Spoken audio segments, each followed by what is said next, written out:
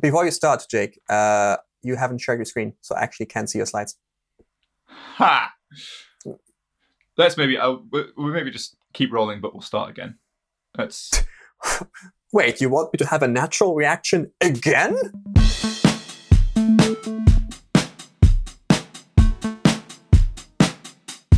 So, how So. are you? I'm alive? Have you noticed that your browser has a back button and a forward button? Yes. Good. I, I, good. And then you have the required knowledge for this upcoming episode. Yep, absolutely. Uh, because I have been digging into this sort of stuff recently, and I sort of assumed that the back button and the forward button had like their behaviors might be pretty stable and make sense. They've been around for decades, I guess. Yeah. Um, but I didn't realize how little I know about how they actually work. So I thought I would share with you some of my findings. Uh, but to prove how weird it is, I thought I would turn it into a kind of quiz where you, Surma, are the Oh, contestant. No. Uh, and if you're playing along at home, you can see if you can beat Surma uh, to any of these. But seriously, like, don't feel bad if you don't know this stuff. I've only recently discovered some of this stuff myself, and a lot of it doesn't make sense. Anyway, let's just jump in. Question one. Here you go. The fact that iframes are in here already want to make me eject from this entire quiz. Yeah, uh, they are going to be a big part of this. That's where most of the weirdness happens. So Okay. take this, click each link in order, one after the other, and then click the back button. What happens? And feel free to say what you think happens and what you think should happen, because these are going to differ. So I click the hashtag hash link, then one, then two, and then the back button goes back to one, and another back button click goes back to hash, and another back button goes back to just slash, whatever it is, I guess. Yeah. Uh, do you know what? You're absolutely correct. Um, and it's it's a detail that some people miss. Is like, here's how it works. You got your top level page with an iframe. I like to visualize it as this kind of timeline. So we'll call this step zero. Uh, we navigate that top level page to a new hash, uh, which doesn't change the document, but it adds a new history entry. And then we navigate the iframe uh, to a new page uh, and again. We navigate the iframe. Yeah. The links weren't in the iframe, were they? Oh, see, do you know what? Here's the cool thing. I, I was there thinking, God, Surma's really smart. He's got this bit. I mean, I mean, this is just the first question, but still, I feel like you've got it correct by accident. so let's let's Yeah. have, let's have a look at this code again. I did not see the target, and I didn't know target was a thing for navigating. T- I learned something, Jake. There we go. But you know what? By not knowing something, you got the answer correct. So, what have we learned? Ignorance is bliss. That's the moral of this Go episode. me. But yeah, you click these, it's going to navigate the iframe. The answer of this question really hinges on uh, knowing that it's going to navigate the iframe. Uh, and when you click back, it is going to navigate the iframe back. So yeah, it creates these session history entries, but it, it forms this thing we call, uh, well, I like to think of it as a timeline. It's actually called the joint session history. Uh, but yes, you click the back button, it will actually change what's in the iframe, uh, not just the, the top level page. So we're at step three here, meaning the top level page is on hash and the iframe's on two. We click back and we go to the previous step, which navigates the iframe, but leaves the top level page where it was. You know what? Full full disclosure, I'm not sure I would have known that the back button respects navigation within an iframe. I I, I- have a hard I, I can't go back and pretend I don't know now, but I'm not sure I would have I was talking to a browser engineer on Friday who didn't know either. Like it, it's something that catches people out. All right, next question. Each link is clicked, uh-huh. some of those target iframes, and then the button is clicked. What happens? So I guess the, the question is that the history value that is exposed via JavaScript, does that encapsulate the overarching history of all embedded iframes and documents and whatnot, or is it specifically the current document? Considering, you know what, I'm going to say history back is supposed to be identical to clicking the back button. So I'm going to say it's going to behave exactly the same. correct, and you got this one correct correctly as well. So full points for that. There is actually a new history API proposal because there's lots wrong with the history API. There's a new proposal um, that does target uh, the last entry of the current frame. So there is a proposal where you know this new back command, which will go all the way back because uh, it, it's targeting that that top level. A quick question then: if if I called, you know, let's let's say I click the buttons in reverse order, like I navigate the iframe first, and then I navigate it to a hash on the top level document, and called history back from within the iframe would that navigate the top level page back from hash to no hash? Yes, yes, it would. Like, oh wow! The history API is weird because it sort of breaks a lot of the cross origin rules. Like, even if your iframe was in another origin, it would be affecting the parent page, which is in, a, in oh, another wow. origin. That's that's you, interesting. You could have two iframes on your page, each to a different origin. To the parent page, so you got three origins on the go, and calling history.back in one of those iframes could navigate the other iframe yeah. That doesn't seem like a good idea. Mate, do you know what? We're not even at the really weird questions yet. okay, hit me then. All right, here we go. Each link is clicked, and then back is clicked. Okay, so what? So we, the same happens as before, but then you actually go to a completely different page, which, for all I know, doesn't have any iframes. And so now the question is, if I click back, will the iframes be restored to the state that they were in, or are they going to be restored to what's in the markup? Mm. That's the hmm. question that I'm asking myself.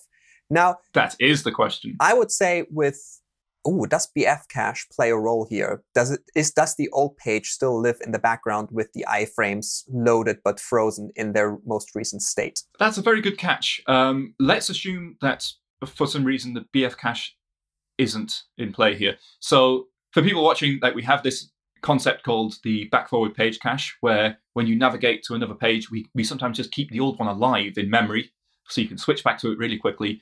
That doesn't always happen for a number of reasons. So for this question, we're saying it's not happening. I'm going to say the iframes are loaded with what's in the markup. Hmm, interesting, but incorrect. Uh, so here's where we're at after clicking those links. Uh, and then we leave the page. And like I say, sometimes it keeps the document around, but in this case, it's, it's not going to do that. So the page is gone, along with the iframe. That's gone as well.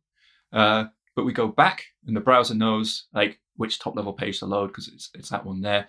But when it does this, it goes, huh, there's an iframe here. And incredibly, the browser goes, I think this is the same iframe from before. And it restores the session history and loads too. That is incredible. That is not as smart I would have expected from the browser. Every browser does this. It's magic. Like that works across browsers. Okay. Yeah. Sometimes the web platform does do a thing. Mm, and you know what? this is not in the spec, and this is one of the kind of jobs I have right now is to figure out exactly how this works and uh, and uh, spec it. So you can help me with that. So here's a slightly different one. I'm gonna click all of these links in order. So one loads into iframe one, two loads into iframe two, and we navigate away, uh, and then click back. But plot twist, the page serves the iframes in a different order. So the, the page it is on has like cache control no store or something to force the browser to actually not go into the HTTP cache, which means we yeah. can serve a different response. Yes, the browser will by default go to the memory cache uh, for pages like this, but with no store in play, which we'll assume here, it will go to the server again. I've been recently working on a JavaScript proposal and working on the HTML integration, in which I have learned that something like source position caching is a thing where they cache something, or put something in the cache, and the source position is the key. So when you have the same source position, you can access the value or source location. Um, the question is that happening here, or are they gonna, like you said, like in the previous example, it re realizes this is the same iframe. I'm gonna restore that from my cache where where we were in history. If it uses the name, then it will work again. If it uses source position or source location, that or something similarly, that wouldn't work. So, which is it then? I mean, you, your your analysis of the question is is spot on. I'm gonna say that either directly or indirectly, this restoration process can only happen if the response was byte identical. And since it isn't, it won't do that. So you're saying it will load the uh, the original sources for It- each iframe? It will it will load frame start for both, is what I'm gonna say. I'm afraid not. Um, uh, and, and you had a, a number of correct answers to go for. Unfortunately, you didn't hit any of them. Uh, Firefox will reconnect these iframes based on their index in the source, uh, which you suggested. Uh, so it will load uh, one in the first iframe and two in the second iframe. Chrome and Safari will use the name attribute to track movement of the iframe around the document and hook things up. Uh, and they will fall back to index if there's no name attribute. Uh, and they behave differently if you have a combination of named iframes and indexes. So it's all the browsers behave slightly differently, uh, but that, that is roughly what they do. Uh, and they both behave differently if the iframes were created with JavaScript. Uh, Safari will reconnect them in that case. Chrome won't if they were created with JavaScript. Look, I don't have the time or energy to go fully into it. I'll put some links in the description because it's very, very complicated. Next question. As before, going to click all of the links, uh, loading one into iframe one, loading two into iframe two, and then refresh the page. What happens? If we're assuming no store, I'd say it goes back to frame start. Like I want to start over. And you are correct. Uh, yeah. That, that would have been unsettling if that wasn't what's happening. Well, be prepared to be unsettled because it does get weird. uh, so here's where we're at with, you know, we've clicked all of those links. The iframes are on one and two, and then we hit refresh. Here's what happens in, in Chrome and Safari. Like the, the iframes gets this new history entry, each pointing to their original source URLs. Um, but I don't think this makes sense because now if you click back, the first iframe navigates back to one, uh, and the second iframe navigates from frame start to frame start. Like it effectively reloads the same URL. Yeah, I thought it would. The refresh would create a new entry, not overwrite the current one. But I guess it has never done that in the past. Yeah. I would love to tell you what Firefox does, and I've seen it do stuff a little bit like this, but I have also seen it restore the iframes to one and two, and I haven't figured out why it does one or the other. And weirdly, right now, it feels like it it restores the iframes to their like one and two URLs if the tab has been open for a while. I don't want to believe that this is actually the behavior changes based on time. I don't want to believe that, but that's all I've got to go on right now. I will find out, but right now I don't. I just don't know. I don't know, Surma. I don't. I'm, I will ask some Firefox engineers and hopefully put something in the description. But right now, it's this is kind of a mystery to me.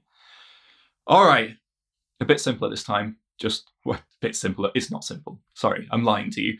But there is just one iframe. Click each link, but this time we're going to go back two steps. So you can long press on the back button and navigate multiple steps at once. Uh, there's also the API history.go, and you could pass that minus two to go back two steps. So we're going back two steps at once. What happens? So I guess the difference is that it doesn't actually load the intermediate step. But I would think that this would behave as expected, as in the top level page goes back to slash and the frame goes back to frame start. Is, is that your answer? Are you sticking with that? That that is my answer. Okay, here's where we're at. We've clicked those links, and we're on step two. So, you know, Mhm. hash in the top page, and the iframe is on one. And then we navigate back two items at once, meaning the top level page loses its hash, and that's it. The iframe stays where it is. No, that is wrong, and I do not like it. Every browser, Chrome, Firefox, Safari, has a bug where if the parent frame changes its history entry, it won't navigate the child items. It's a bug.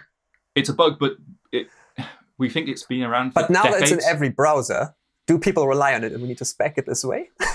Uh, there is some evidence that we tried to remove, well, we tried to fix this bug in Chrome uh, in 2016 uh, or maybe earlier, and we couldn't uh, due to some sites relying on it. But other behaviors have changed since then, which might mean we can fix this, but we haven't done the research for that bit That, yet. that is absolutely incredible. It- it's terrible, isn't it? Because it breaks it breaks the timeline. I yeah, I'm sorry. I'm just sorry. Okay, more sadness. Again, click each link in turn, then click the button. What happens when we click back? Um, nothing, I think. When we click them in order, we navigate to hash first and then put one in the iframe and then two. Uh, I think the, the iframe is just not in the DOM anymore. Maybe the browser has it somewhere in the background and is navigating the iframe off screen, but I, I think just nothing happens. Okay, so like a, a- an empty history entry or something like that. Well, I think there's a, a history entry. I think the history entry probably has like a reference to the iframe, and maybe the iframe still exists like in memory, and it can and it will get navigated. Like, and if you hold held on to the iframe and put it back in the DOM after, maybe it would then have navigated back successfully.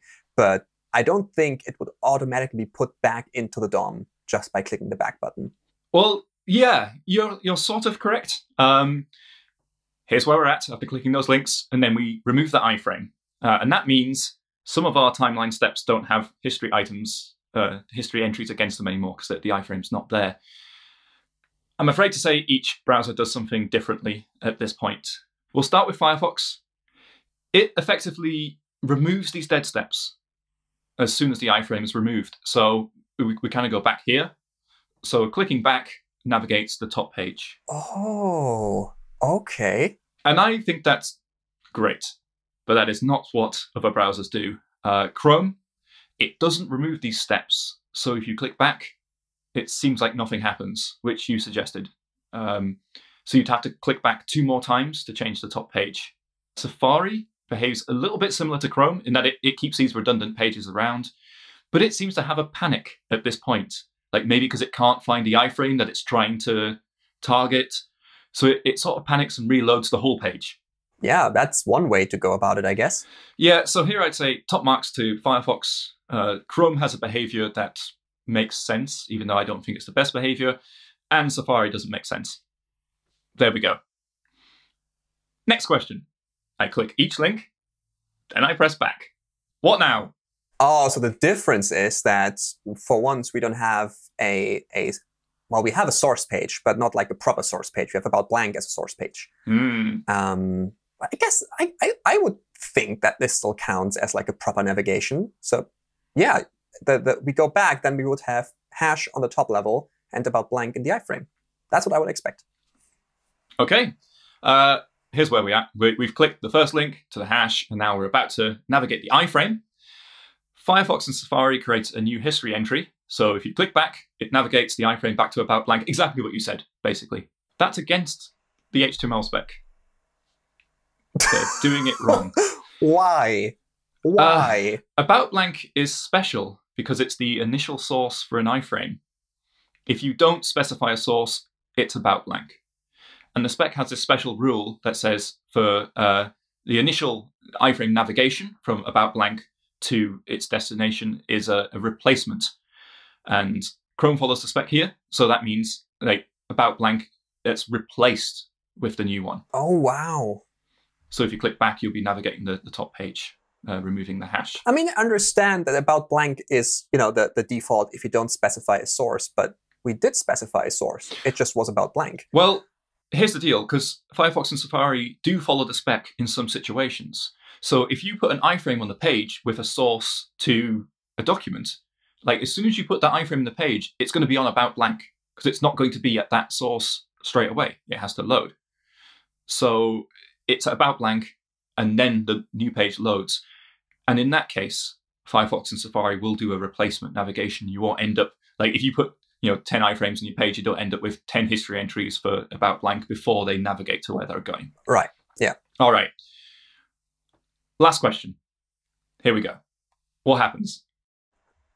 Uh, you grab the iframe, you set the content window. Oh, you set a property on the content window. You check if it's about blank, and if so, you add the event listener for load.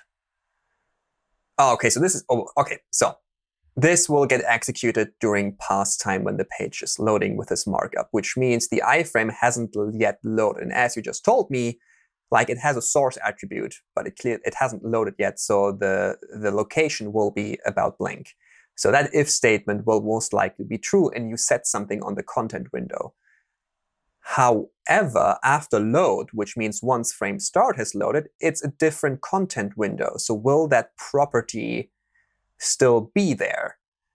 Is there browser magic or not? In my ideal world, I would say no, that would log undefined because that's a new window, but you're probably going to say that's wrong. But I'm going to say because I'm a purist. It's going to log undefined. That would make sense, wouldn't it? And yes, it would. It's not. it's not what happens though. All browsers, in this case, will log uh, world. Like it keeps it, and the, the code inside the iframe on its global, it will have that variable in there, even though it was a different page when you set it. The way it's spec'd here is that uh, you know if it's about blank and you navigate it uh, from its initial about blank to a page, it just changes the document. It doesn't change the window. Uh, oh, I should say only if it's a same origin navigation, only if it's to a same origin URL. Otherwise, it will uh, you know kick out the, the window, create a new window object. There are lots of situations where browsers don't do this. Um, like if you just add an iframe to the page of JavaScript and then navigate it later, like different browsers do different things. But this is one of the cases where all browsers will do this super weird keep the window but swap the document behavior. And really, there's way more weirdness that I'm encountering just looking at this stuff. And I'll put some links to more of the weird stuff in the description because there's a lot of it. And I might even encounter more before this episode goes out. It's all made me super sad. And I don't know how I'm going to spec it all, but I'm, I'm going to give it a good go. But for now, eh, that's all I've got. H- how do you feel now, Surma, after after learning some of this stuff? To me, the conclusion is I'm just gonna stop using iframes. Or actually, I'm not start gonna start using iframes now because without them, everything is so much easier. Deprecate iframes. Good plan.